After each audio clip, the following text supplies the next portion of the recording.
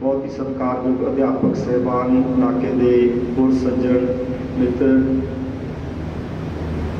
ਸੋ ਮੈਂ ਪਹਿਲਾਂ ਤਾਂ ਮਾਸਟਰ ਤਰਲੋਚਨ ਸਿੰਘ ਹੋਰਾਂ ਨੂੰ ਤਿੰਨ ਵਧਾਈਆਂ ਦੇਣੀਆਂ ਚਾਹੁੰਦਾ ਮੇਰੇ ਤੋਂ ਪਹਿਲਾਂ ਵੀ ਵੀਰ ਇਸ਼ਾਰਾ ਕਰ ਰਹੇ ਸਨ ਕਿ ਪਹਿਲੀ ਵਧਾਈ ਤਾਂ ਹੈ ਕਿ ਸਰਦਾਰ ਤਰਲੋਚਨ ਸਿੰਘ ਹੋਰਾਂ ਨੇ ਅਧਿਆਪਕ ਦੇ ਕਰਤੱਵ ਜਿਸ ਜ਼ਿੰਮੇਵਾਰੀ ਨਾਲ ਨਿਭਾਏ ਨੇ, ਉਹ ਸਾਡੇ ਸਾਰੇ ਅਧਿਆਪਕਾਂ ਦੇ ਲਈ, ਸਮਾਜ ਦੇ ਲਈ ਇੱਕ ਪ੍ਰੇਰਨਾ ਸਰੋਤ ਹੈ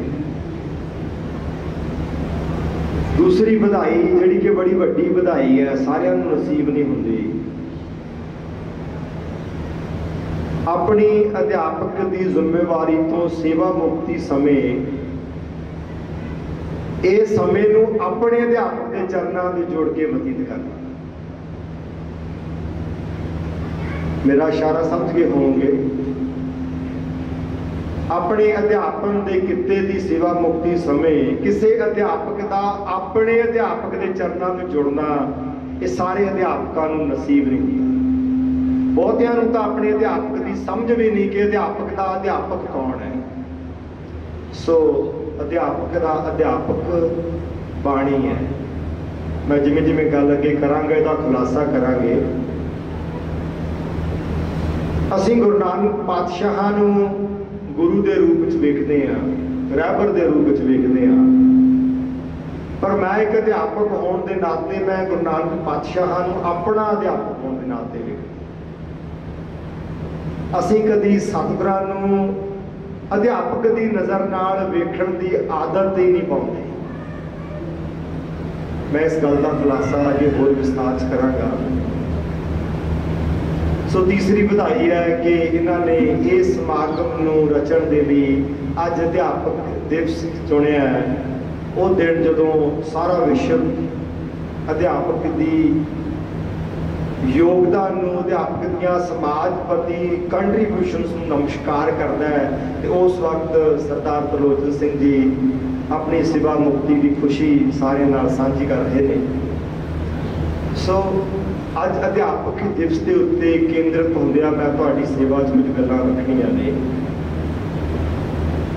ਸਭ ਤੋਂ ਵੱਡੀ ਗੱਲ ਤਾਂ ਇਹ ਹੈ ਕਿ ਗੁਰੂ ਨਾਨਕ ਪਾਤਸ਼ਾਹ ਨੂੰ ਗੁਰਬਾਣੀ ਨੂੰ ਇੱਕ ਅਧਿਆਪਕ ਦੇ ਰੂਪ ਵਿੱਚ ਵੇਖਣਾ। ਹੁਣ ਅਧਿਆਪਕ ਦਾ ਰੂਪ ਕੀ ਹੁੰਦਾ ਹੈ? ਵੈਸੇ ਮੈਨੂੰ ਕਹਿ ਲੈਣ ਦੇਣਾ, ਅਧਿਆਪਕ ਦਾ ਅਸਲ ਰੂਪ ਗਵਾਚਦਾ ਜਾ ਰਿਹਾ ਹੈ। ਆ ਬਜ਼ੁਰਗ ਮੇਰੇ ਸਾਹਮਣੇ ਬੈਠੇ ਨੇ, ਇਹ ਮੇਰੀ ਗੱਲ ਨੂੰ ਤਸਦੀਕ ਕਰਨਗੇ। ਜਦੋਂ ਇਹ ਪੜ੍ਹਦੇ ਹੁੰਦੇ ਸੀ ਨਾ, ਜਦੋਂ ਅਸੀਂ ਵੀ ਪੜ੍ਹਿਆ ਕਰਦੇ ਸੀ, ਅੱਜ ਗੱਲ ਵੱਖਰੀ ਹੋ ਗਈ ਹੈ। ਸਾਡੇ ਸਾਹਮਣੇ ਅਧਿਆਪਕ ਆ ਜਾਣਾ ਤੇ ਫਿਰ ਪਤਾ ਕੀ ਹੁੰਦਾ ਸੀ? ਅਧਿਆਪਕ ਦਾ ਰੁਤਬਾ ਅਧਿਆਪਕ ਨੂੰ ਮਾਸਟਰ ਜੀ ਕਹਿ ਕੇ ਸੰਬੋਧਿਤ ਹੁੰਦੇ ਸੀ। ਤੇ ਮਾਸਟਰ ਦਾ ਰੁਤਬਾ ਕਿਸੇ ਬੜੇ ਵੱਡੇ ਅਫਸਰ ਤੋਂ ਬੜਾ ਵੱਡਾ ਹੁੰਦਾ ਸੀ। ਤੇ ਸਾਹਮਣੇ ਮਾਸਟਰ ਨੇ ਆ ਜਾਣਾ ਤੇ ਮੈਨੂੰ ਚੰਗੀ ਤਰ੍ਹਾਂ ਯਾਦ ਆ, ਜਦੋਂ ਮੈਂ ਪੰਜਾਬ ਖੇਤੀਬਾੜੀ ਯੂਨੀਵਰਸਿਟੀ ਦਾ ਵਿਦਿਆਰਥੀ ਸੀ। ਤੇ ਜਦੋਂ ਸਾਡੇ ਸਤਿਕਾਰਯੋਗ ਅਧਿਕਾਰ, ਅਧਿਆਪਕਾਂ ਨੇ ਸਾਡੇ ਸਾਹਮਣੇ ਹੋਣਾ ਤੇ ਸਾਡੇ ਉੱਪਰਲੇ ਸਾਹ ਉੱਪਰ ਤੇ ਥੱਲੇ ਥੱਲੇ ਰਹੇ। ਇੰਨਾ ਸਤਿਕਾਰ ਹੁੰਦਾ ਸੀ ਮਨ ਵਿੱਚ ਅਧਿਆਪਕ। ਮੈਨੂੰ ਯਾਦ ਆ, ਮੈਂ ਗੱਲ 1990 ਦੇ ਆਸ-ਪਾਸ ਦੀ ਹੈ। ਮੈਂ ਐਮਐਸਸੀ ਕਰਦਾ ਸੀ ਤੇ ਮੇਰੇ ਗਾਈਡ ਸਨ ਡਾਕਟਰ ਓਮ ਪ੍ਰਕਾਸ਼ ਬੜੇ ਵੱਡੇ ਭੂਮੀ ਵਿਗਿਆਨੀ ਸਨ। ਤੇ ਮੈਂ ਜਦੋਂ ਉਹਨਾਂ ਦੇ ਕਮਰੇ ਦੇ ਅੰਦਰ ਵੜਿਆ ਕਰਦਾ ਸੀ ਤੇ 10 ਮਿੰਟ ਬਾਹਰ ਖੜ ਕੇ ਸੋਚਿਆ ਕਰਦਾ ਸੀ ਕਿ ਮੈਂ ਹੁਣ ਅੰਦਰ ਜਾਵਾਂ ਕਿ ਨਾ ਜਾਵਾਂ।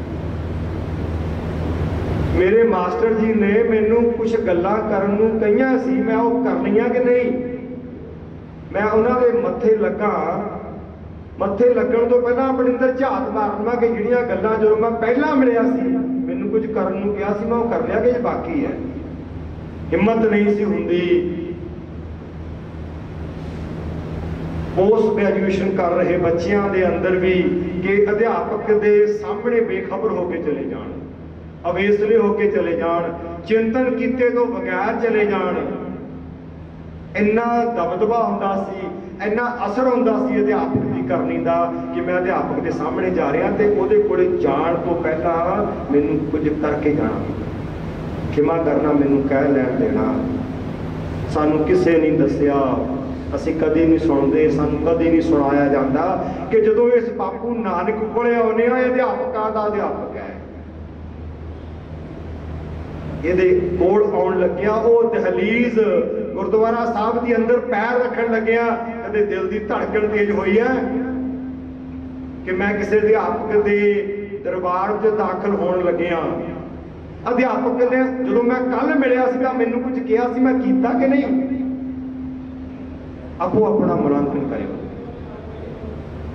ਗੁਰੂ ਨਾਨਕ ਸਾਹਿਬ ਕਿਵੇਂ ਅਧਿਆਪਕ ਨੇ, ਮੈਂ ਇਧਰ ਨੂੰ ਵੀ ਵਧਾਂਗਾ।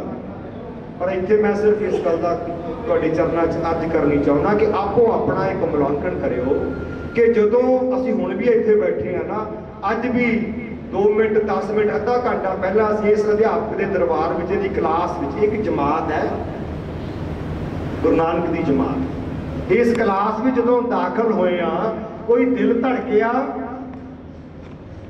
ਕੋਈ ਦਿਮਾਗ ਦੇ ਵਿੱਚ ਹਰਕਤ ਹੋਈ, ਦਿਲ 'ਚ ਕੋਈ ਹਰਕਤ ਹੋਈ ਕਿ ਮੈਂ ਗੁਰੂ ਨਾਨਕ ਸਾਹਿਬ ਦੀ ਕਲਾਸ ਵਿੱਚ ਜਾ ਰਿਹਾ ਤੇ ਜਦੋਂ ਮੈਂ ਪਹਿਲੀ ਇਸ ਤੋਂ ਕਲਾਸ ਵਿੱਚ ਆਇਆ ਸੀ, ਮੈਨੂੰ ਕੋਈ ਕੰਮ ਕਿਹਾ ਗਿਆ, ਮੈਨੂੰ ਕੋਈ ਮੇਰੇ ਮਾਸਟਰ ਨੇ, ਅਧਿਆਪਕ ਨੇ ਦੱਸਿਆ ਮੈਂ ਕਰ ਲਿਆ ਕਿ ਨਹੀਂ? ਖਿਮਾ ਕਰਨਾ ਮੈਨੂੰ ਕਹਿ ਲੈਣ ਦੇਣਾ, ਮੈਨੂੰ ਕੋਈ ਝਿਜਕ ਨਹੀਂ ਹੈ। ਸਾਨੂੰ ਪਤਾ ਹੀ ਨਹੀਂ ਕਿ ਕਲਾਸ ਹੈ, ਸਾਨੂੰ ਪਤਾ ਹੀ ਨਹੀਂ ਇਹ ਜਮਾਤ ਹੈ। ਅਸੀਂ ਪਤਾ ਗੁਰਬਾਣੀ ਨੂੰ ਕੀ ਸਮਝ ਬੈਠੇ ਆ ਜਿਵੇਂ ਕੋਈ ਸ਼ਾਪਿੰਗ ਮਾਲ ਹੋਵੇ। ਇੱਥੇ ਅਸੀਂ ਗੁਰੂ ਦੀ ਜਮਾਤ ਵਿੱਚ ਗੁਰੂ ਦੇ ਕੋਲੋਂ ਸਬਕ ਲੈਣ ਨਹੀਂ ਆਉਂਦੇ, ਵਿਰਲਿਆਂ ਨੂੰ ਛੱਡ ਕੇ ਬਹੁਤੇ ਮੇਰੇ ਵਰਗੇ। ਬਹੁਤ ਵਿਰਲੇ ਟਾਵੇਂ ਨੇ, ਜਿਹੜੇ ਇੱਥੇ ਸਬਕ ਲੈਣ ਆਉਂਦੇ ਨੇ। ਜਿਨ੍ਹਾਂ ਨੂੰ ਸਬਕ ਦੀ ਭੁੱਖ ਹੈ। ਬਹੁਤੇ ਕਿਵੇਂ ਆਉਂਦੇ ਨੇ? ਬਾਬਾ ਜੀ, ਮੈਨੂੰ ਪੁੱਤਰ ਚਾਹੀਦਾ ਹੈ। ਬਾਬਾ ਜੀ ਮੈਨੂੰ ਨੌਕਰੀ ਚਾਹੀਦੀ ਹੈ। ਬਾਬਾ ਜੀ ਮੈਨੂੰ ਤਰੱਕੀ ਚਾਹੀਦੀ ਹੈ। ਬਾਬਾ ਜੀ ਮੇਰੀ ਆਹ ਸਮੱਸਿਆ, ਬਾਬਾ ਜੀ ਮੇਰਾ ਮੁਕੱਦਮਾ, ਮੇਰਾ ਆ ਮੇਰਾ ਉਹ। ਇਹ ਕੋਈ ਮਾਲ ਹੈ ਸ਼ਾਪਿੰਗ ਮਾਲ ਹੈ? ਫਿਰ ਬਾਬੇ ਨਾਲ ਸੌਦਾ। ਬਾਬਾ ਜੀ ਮੇਰਾ ਮੇਰਾ ਆਹ ਕਰ ਦੋ, ਮੈਂ ਆਹ ਦਊਂਗਾ। ਤੇ ਉਹ ਸਾਡੇ ਆਗੂਆਂ ਨੇ ਇਸ ਸਕੂਲ ਦੀ, ਗੁਰੂ ਨਾਨਕ ਦੇਵ ਸਕੂਲ ਦੀ ਤੇ ਅਖੌਤੀ ਅਗਵਾਈ ਕਰਨ ਵਾਲਿਆਂ ਨੇ ਇਹਨਾਂ ਨੂੰ ਧਰਮ ਬਣਾ ਕੇ ਪੇਸ਼ ਕਰ ਦਿੱਤਾ। ਬਾਪੂ ਤਾਂ ਬਹੁਤ ਤਾੜਨਾ ਕਰਦਾ ਸੀ। ਉਹ ਤਾਂ ਕਹਿੰਦਾ, ਬਿਨ ਤੁਧ ਹੋਰ ਜੇ ਮੰਗਣਾ, ਸਿਰ ਦੁੱਖਾਂ ਦੇ ਦੁੱਖ। ਉਹ ਕਹਿੰਦਾ, ਤੇਰੇ ਨਾਮ ਤੋਂ ਬਿਨਾ ਕੁਝ ਹੋਰ ਮੰਗਣਾ, ਦੁੱਖਾਂ ਦੀ ਪੰਡ ਮੰਗਣੀ ਹੈ।